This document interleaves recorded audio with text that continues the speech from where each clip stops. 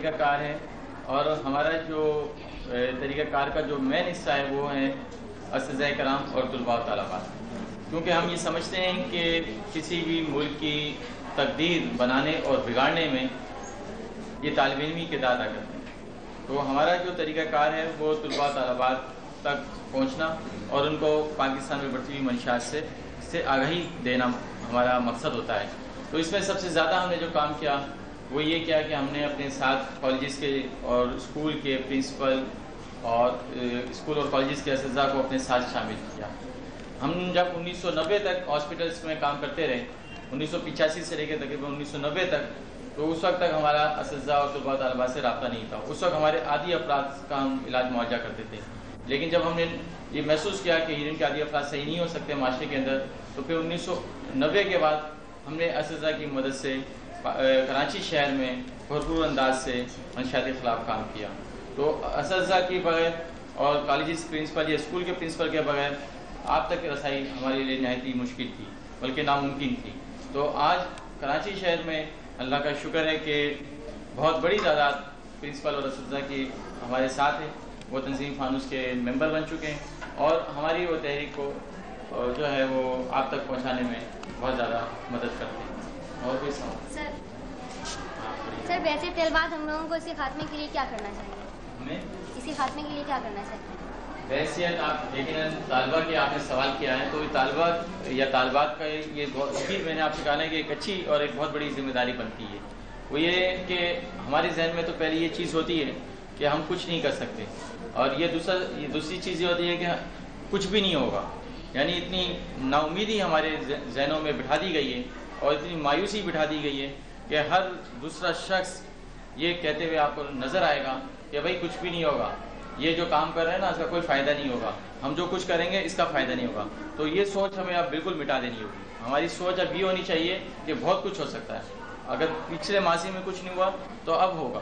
तो आप हैसियत तालब इम के हैसियत तालबा के चार और चार दीवारी में रहते हुए ये इस काम को, इस मंशात के काम को बहुत अच्छे अंदाज से कर सकती हैं।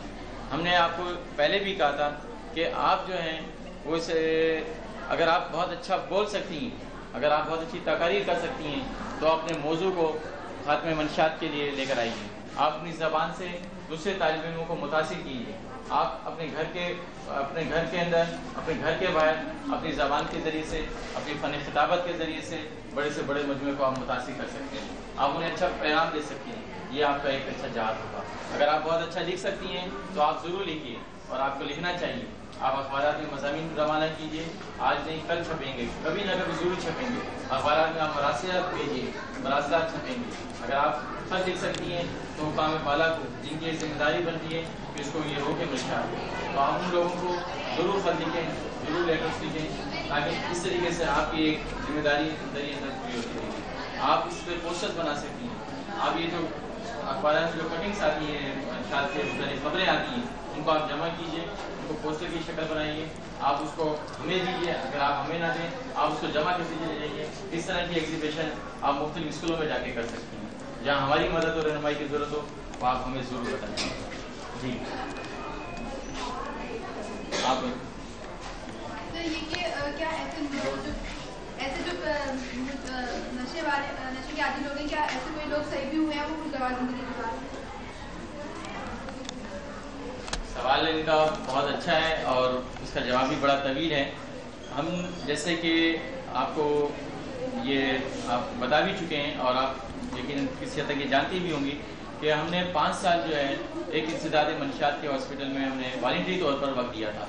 तो वहाँ पे हमने तकरीबन दस हज़ार मरीज़ों का इलाज किया था। हीरोइन के आदि अफराद हमारे पास आते थे इससे मर्द भी आते थे, औरतें भी आती थी और बारह साल तक के बच्चे भी आते थे हमारे पास। तो हमने जब उनका इलाज मुआवजे में काफ़ी वक्त दिया, उनके साथ हमने काफ़ी वक्त गुजारा और हमारी ख्वाहिश ये थी कि वो माशरे के कारामद शहरी बन जाए, पाकिस्तान के अच्छे शहरी बन जाए, लेकिन बदकस्मती से वो एक अच्छे शहरी, एक अच्छे इंसान नहीं बन सके। दरअसल हीरोइन एक ऐसा मोजी नशा है कि जो इसकी गिरफ्त में एक दफ़ा आ जाता है तो उसको उसका हीरोइन के चुंगल से निकलना यहाँ की माहौल, बल्कि बहुत ही मतलब मुश्किल तरीन हो जाता है।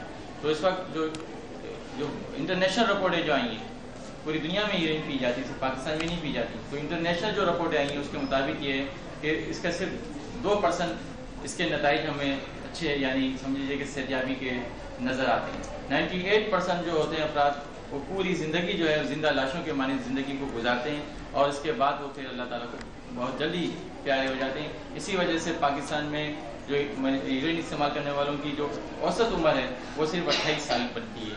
तो ये बहुत ही कम उम्र है। तो ये इनके इलाज मुआवजे पे अब हम तवज्जो नहीं देते। अब हम नई नस्ल को बचाने पे काम कर रहे हैं और हम जानते हैं कि परहेज जो होता है, वो इलाज से बेहतर होता है। अगर हम पहले से हम आपको बता देंगे और पहले से ये शोर दे देंगे तो इन ताला इसके नुकसान से हमें फिर मुकाबला नहीं करना पड़ेगा। सर। अमूमन जो है हुकूमत और रफाई तंजीमें जो है कहती हैं कि मंशात को ख़त्म किया जाए सर हम उन चीज़ों पर तवज्जो क्यों नहीं देते कि हम वो वो मसाइल को उन मसाइल को ख़त्म करें जिसकी वजह से कोई नौजवान जो है वो नशे का शिकार होता है। सही। वैसे में ज़ाहिर बात है कि हम बहसीत आपके सामने जो खड़े हुए हैं वो एक समाजी कानून की हैसियत से खड़े हुए हैं। इस जगह पे यकीन कल या आज अभी थोड़ी देर बाद मुझसे पहले आपकी उस्ताद यहाँ मौजूद थी। अगर यहाँ मेरी जगह आपको खड़ा कर दिया जाए तो आप ये महसूस कर सकते हैं कि आप, ये सवाल जो है, उन लोगों से किया जा सकता है बेहतर से कि जो इस चीज़ के जिम्मेदार हैं, जो जिनके पास कहना चाहिए कि कवानीन है, जिनके पास ताकत है, जिन जिसको हम लॉ इन्फोर्समेंट की एजेंसियाँ कहते हैं जिनको हम बहुत बड़ी कहना चाहिए बड़ी बड़ी तनख्वाहें देते हैं, ये इसकी ज़िम्मेदारी उनकी बन जाती है। तो उसके अंदर ऐसे इकदाम करें कि वो जो मंशात है, वो जहाँ पैदा होती है, फिर वहाँ से सैकड़ों चौकियों से पास होती हुई वो हम गलियों तक पहुँच जाती है। ये इकदाम जो है, ये दरअसल उन लोगों की ज़िम्मेदारी है कि जो लॉ इन्फोर्समेंट की एजेंसियाँ हैं, वो इसमें अपना किरदार अदा करें। तो यकीन मंशात यहाँ तक नहीं पहुँचती ये इकदाम उनको करने चाहिए।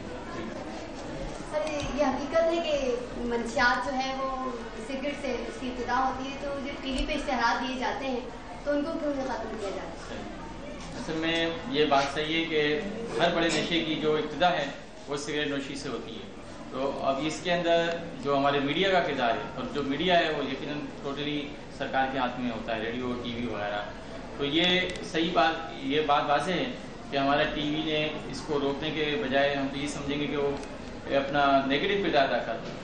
तो उसी चीज़ को हम मुनाफिकत कहते हैं। ये एक मुनाफिकत है कि हमारा टीवी जो है, वो एक तरफ़ तो सिगरेट नोशी की इशारत भी देता है और दूसरा ये है कि उसके साथ साथ वो एक लाइन दे देता है कि खबरदार मंशाल मतलब ये इसके नुकसान के बारे में एक लाइन आ जाती है। तो ये चीज़ बहुत बुरी बात है। अब ये है कि हम जैसी जो तंजीमें होती हैं, जो कि आटे में नमक के बराबर हैं, आज आप भी हमारे साथ शामिल होंगे। तो इस तरीके से क्या होगा कि हम मज़ीद दबाव जो है ना, ये नशराती इदारों पर हम डाल सकते हैं। हमको ख़त के ज़रिए से, इजलासों के ज़रिए से करारदादों के ज़रिए से, और तनजीम पानी से काम कर रही होती है ऑलरेडी यही वजह है कि आप देखिए कि एस टी एन ने सिर नोशी के इश्तहार को मुकम्मल पाबंदी लगा दी। पाकिस्तान टेलीविज़न दोपहर से जब वो निशात जारी होती थी तो शाम होती वो सिर नोशी के इश्तहार को जारी करता था। लेकिन जूँ जूँ वक्त गुजरता कि आपने देखा कि आप नौ बजे साढ़े नौ के बाद वो इश्तहार को वो देता है। तो ये क्या है कि एक अवामी दबाव होता है, एक अवामी प्रेशर होता है। और जिसके तहत ये जो चीज़ है ना, वो ख़त्म होती है।